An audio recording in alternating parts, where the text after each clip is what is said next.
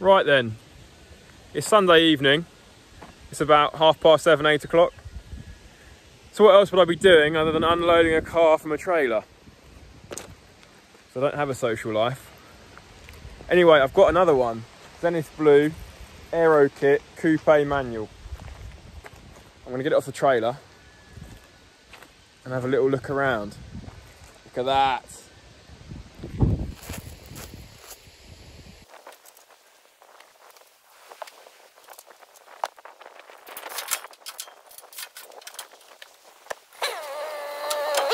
That was about a minute and a half getting that off the trailer according to the video. Can't recommend one of these highly enough. Brian James trailer. Anyway, let's get back to the car. So this is a Zenith Blue factory fitted aero kit. Another coupe manual non-sunroof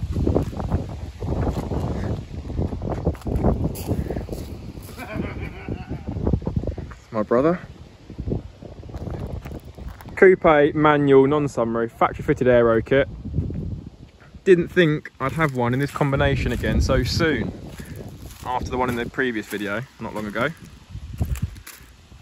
Anyway, it's a car that I had before. It was taken in about two years ago and um, the customer brought me back up, said he was selling it. Would I be interested? And I always like to take in a car that we've had previously because one, I know it's going to be a good car and two, it takes me a long time to comprehensively write the adverts and go through all the paperwork and get it all detailed nicely, and it's already been done once.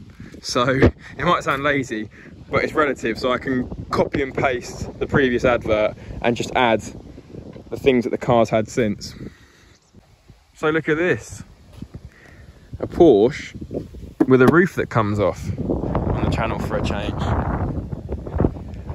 It's a Carrera 4S, obviously, midnight blue, Metropole blue leather interior, which is a really good combination, I think, with the matching um, blue soft top.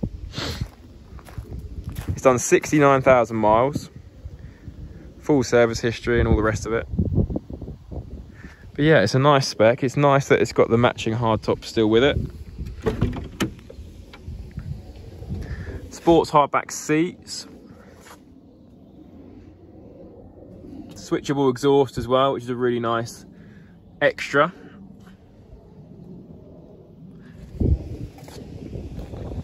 So there we go, let's get that inside and have a look what's needed. Right, it's Tuesday morning and we've got the Carrera 4S going up on the ramp. We're gonna get underneath, we have already inspected it, but we're gonna get underneath and just walk through bits and pieces that we're doing because we're doing quite a lot of work to this car, so it's worth filming and showing you what's what. So I'll see you under there in a minute. She's up, and to make sure we're as professional as possible, put a whiteboard up and made a little list. So, starting from back to front, so I don't forget anything. The clutch has been done recently, a couple of years ago. For some reason, they didn't do the IMS bearing. You can see the rear main seal is wet.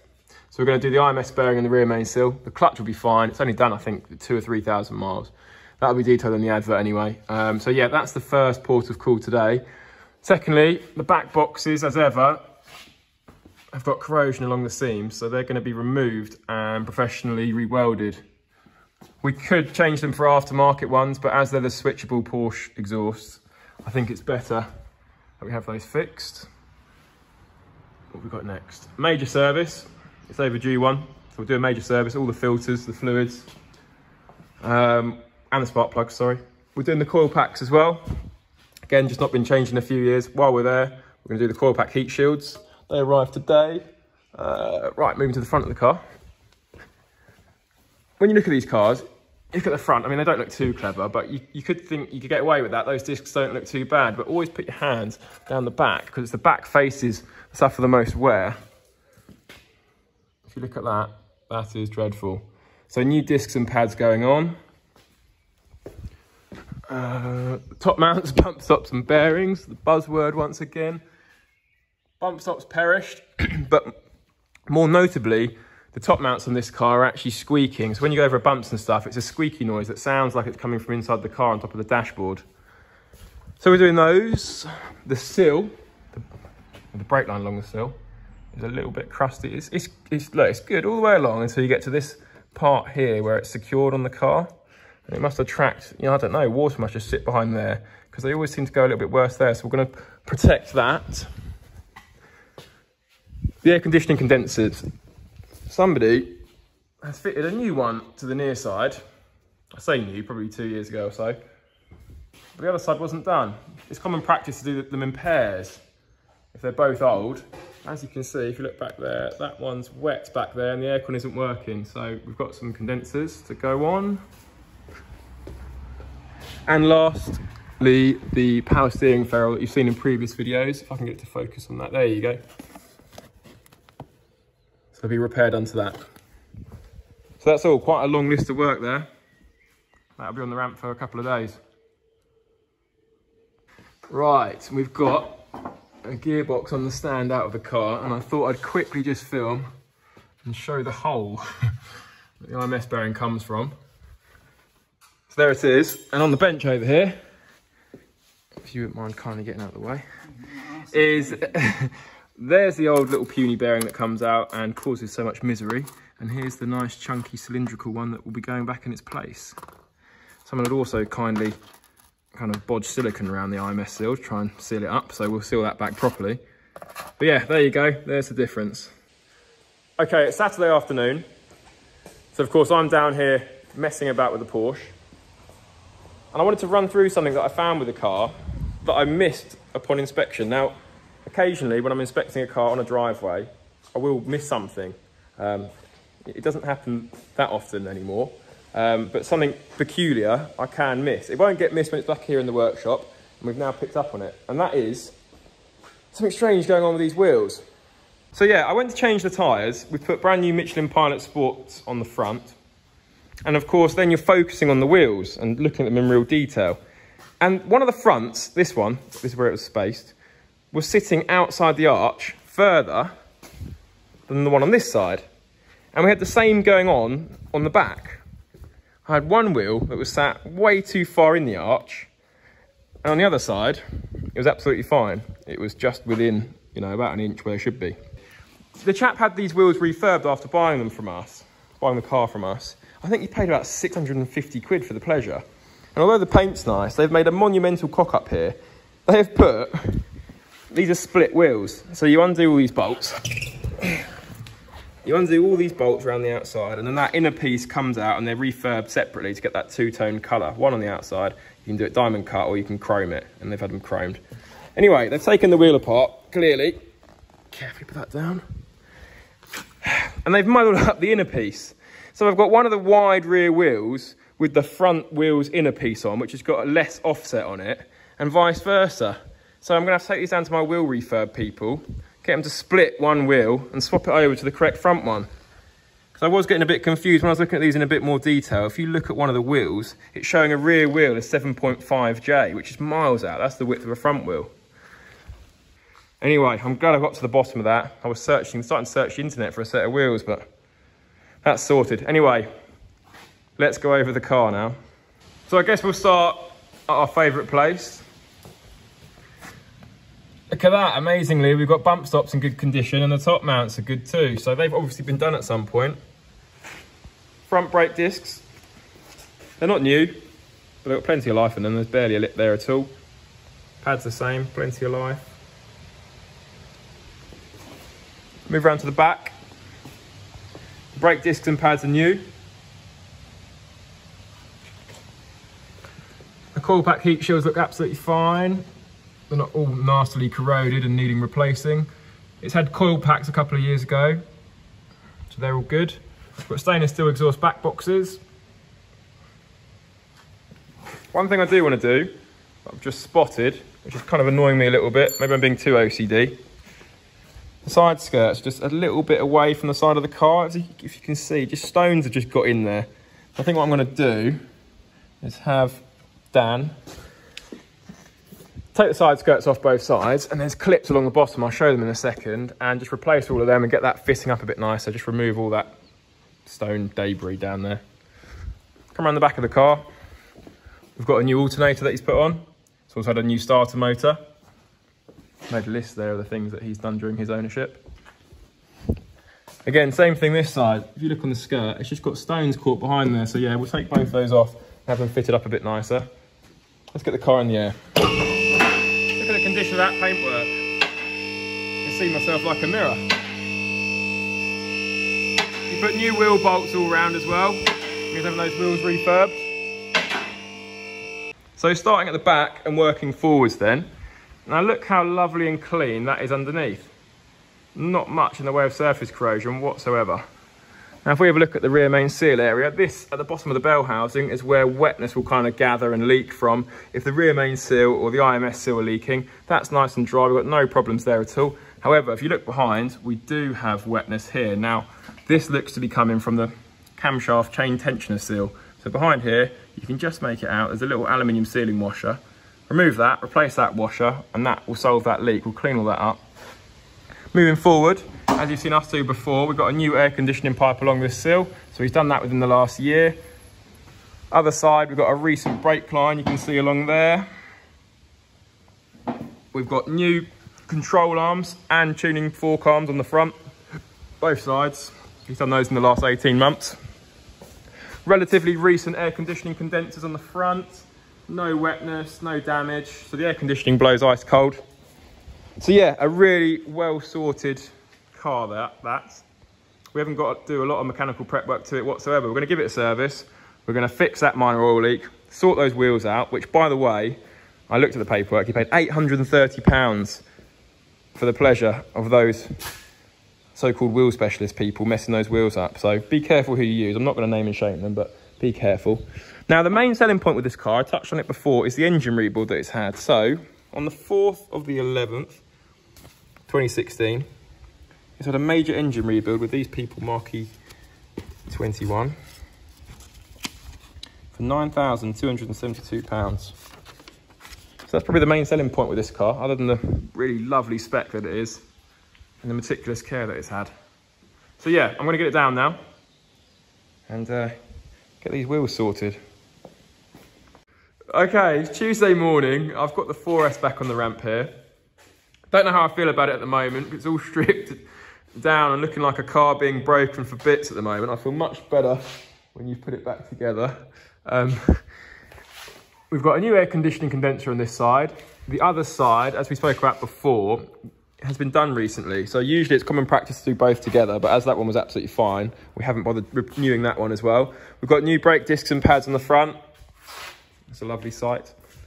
Um, to the rear of the car, it's had a full major service. All the fluids have been done. The spark plugs have been done. Coil packs have been done. Coil pack heat shields we've put on as well. It's just nice to put those on. They're only about 30 pounds from Porsche, so why not while we're there? As you can see, we haven't got a bumper or back boxes. The back boxes have been sent off to be uh, repaired along the seams. Unfortunately, they're not here, so I can't show you what that looks like. Um, we put new struts on the engine lid. That's much better. That won't fall on your head when you're trying to check your oil level. Uh, I think that's about it. The list feels bigger than what I've just noted, but cleaned up the uh, the brake line on the passenger sill as usual. Uh, the power steering ferrule has been done.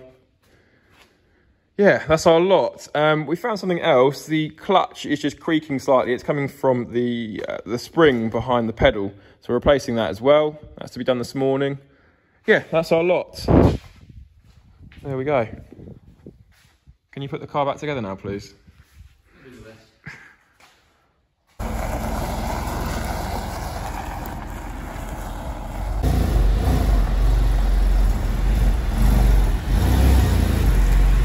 The Zenith car coming back in for its service, etc. Oh, look at that colour.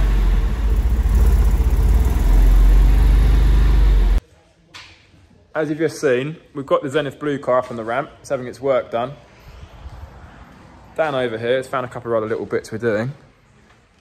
The rear upper suspension links, look up here, I've got excessive play in these bushes. So we're going to be replacing those, both sides. Just he's just removing the oil now. There we go, that was done a year ago. But he has done about 6,000 miles during that time, so hence it's that colour. Sounds nice, doesn't it? There we go. So we've cleaned up where the oil leak was coming from, replaced the seal on there. So hopefully that'll solve that issue. Zenith car is still on the ramp. As you can see, we've had the skirts off and we've discovered it's rubbed the paint off here. We're actually been rubbing on the front and it's causing some surface corrosion. So of course we can't fit it back up now. That's gonna have to go off to the body shop. Have that whole seal done along there. We're gonna do the other side as well. It's not as bad, but it's got a little bit just here. So both sides done. Um, and also while we're at it, the skirts themselves stone chipped here.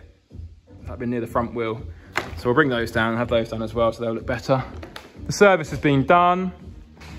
The door lock uh, mechanism's been done, so the window's dropping at the right time. That's it. Oh, and the arms. I'll show you the arms that we've done. This side's had two.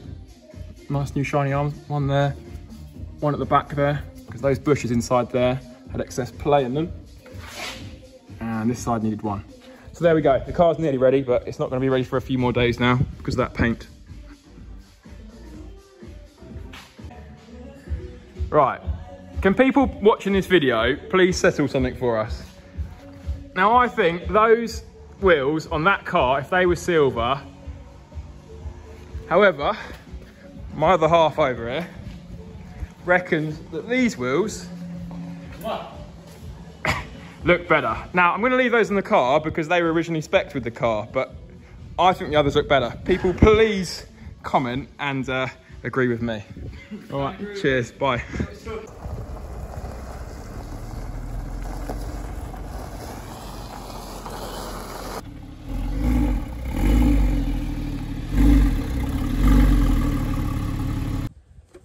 Good morning. We've got the back boxes back for the Carrera 4S. They look really, really good. And it's back together, happily. That was stressing me out having that car all in bits like that. But yeah, it's absolutely beautiful. I've got it out this morning. It's going for an MOT. I'm going to take a bit of film down there. But yeah, it's had loads and loads of work, this car. Look at that. I do prefer them without the roof on, but you know, look, the weather's not great. It's been drizzling, so we'll leave that on. Right, let's go and get the MOT done.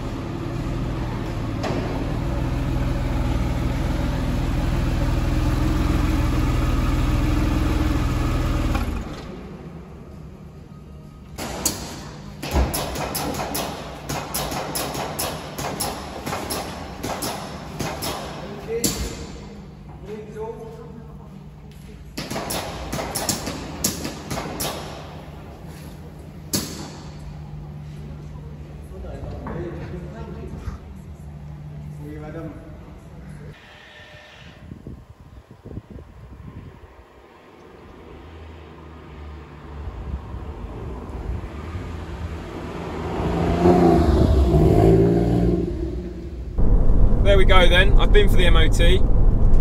What do we reckon? Reckon it passed? Yeah, of course it passed. Flying colours, no advisories. I mean, we are 99% sure that'd be the case anyway, after the amount of time we'd spent on the car and the amount of work that it's had done. You never can be quite sure. So yeah, 12 months MOT. As you saw, the MOT tester, I know him pretty well. He gets underneath and likes to list off all the things he can see that we've done to the car during prep. Um, there was a few other things that we did to it that I forgot to mention in the in the video when it was on our ramp prior, and that was I didn't mention the bump stops, top mounts and bearings. I was filming on the whiteboard and showed it on the list, but I didn't mention it, so they've been done as well. Also a couple of little things. I said we've done the rear engine lid dampers, we've done the ones on the front for the bonnet as well. And I also put a uh, number plate bracket on the front as well. They just sometimes look a bit untidy or get cracked. You can get those cheaply from Porsche, about 20 quid. So yeah, the car's all good to go now. It's a really lovely thing. It drives really, really well, feels really, really tight. I'm actually not that partial to a convertible usually, which people have probably noticed from our stock.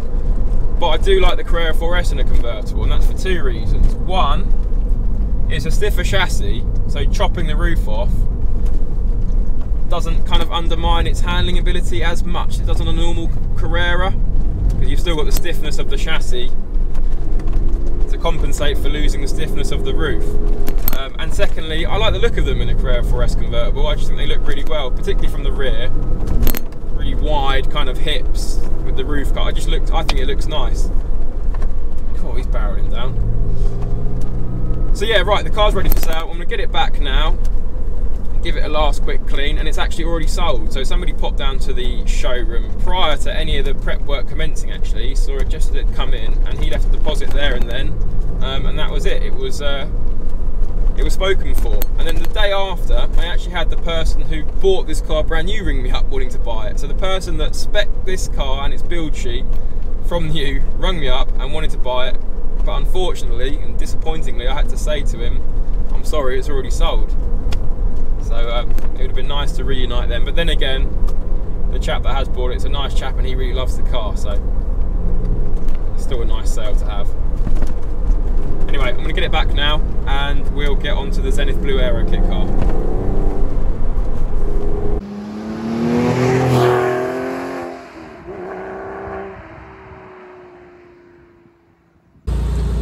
It's Saturday morning. We've got two cars going out today. One is the lovely Zenith Blue Aero kit car. All the work's been done. We'll go over that later.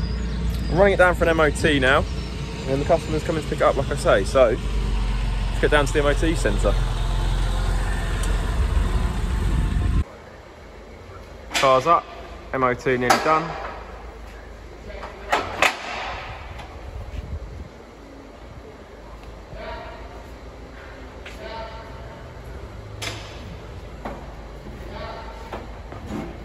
Nice underneath, isn't it?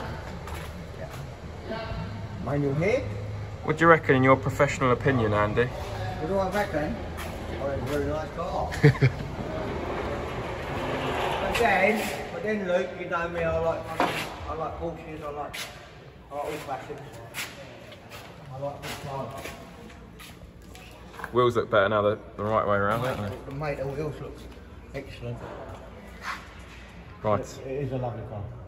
It's a lovely. And It is a, right, I'm just saying, it's a, it's a lovely colour as well, isn't it? And there's no, you've done the IMS on this as well, haven't you? It's been done previous it had an engine rebuild. Really? Okay, so all the work's done on the car. The MOT was absolutely fine this morning. Give it a little talk through. Skirts are all done, looking lovely. The door shuts as well. This is a handy tip. You can get these gaskets, so you get corrosion around these door strikers because that material is different to that material. We had that sprayed for the customer, and you can buy these gaskets. They're from a Volkswagen Passat. I can put the uh, item number in the description for that if people want to do that. Interior's all looking lovely. The wheels have been swapped over, so they look right now. We've got new tyres on the front. You saw the new arms underneath. We've had my mechanics fabricated this mesh for the front to protect the air conditioning condensers. So do you want to feature in this video briefly or not? This is Steve, the new owner, and also the previous owner, and the guy that knackered the old engine. no, so Steve owned this car about 10 years ago, drove it across Europe, flat out by the sounds of it.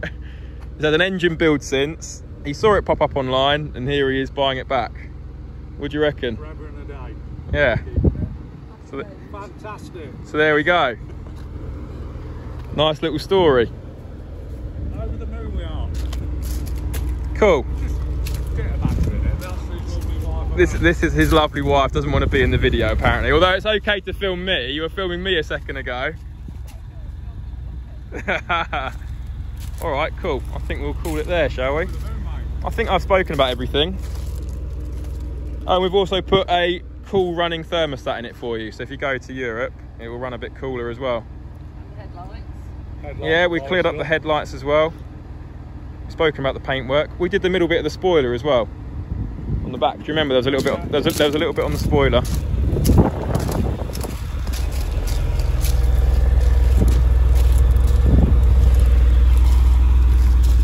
Think that's our lot. I kind of forget. Yeah, go on, give it a little rev.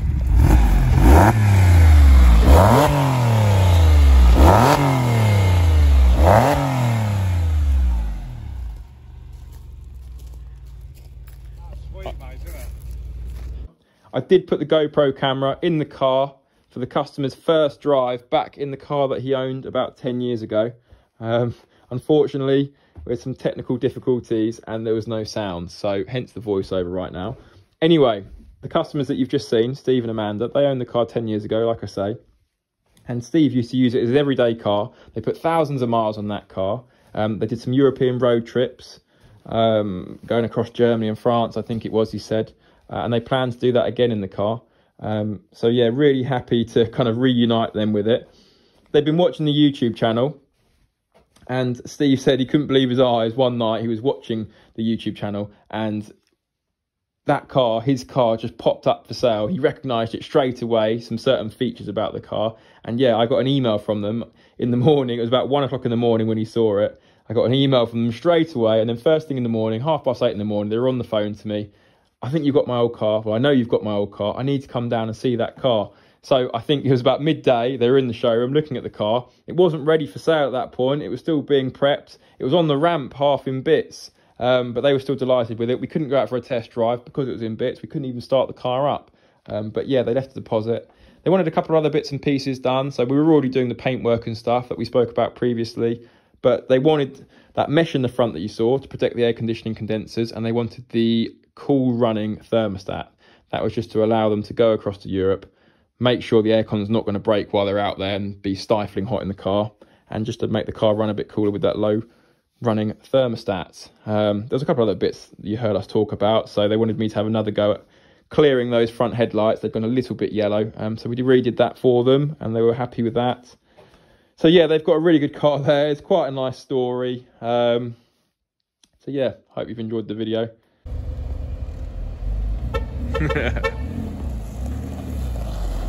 See ya.